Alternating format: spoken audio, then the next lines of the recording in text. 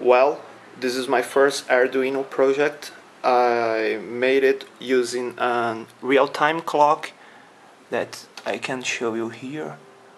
And this LED matrix is a 3216 from Sure Electronics. The LCD is here just for debugging purpose. I will turn on the I will turn on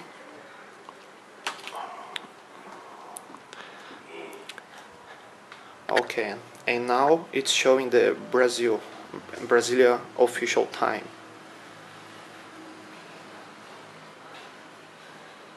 So it's a great display. And I am using an Arduino Mega 2560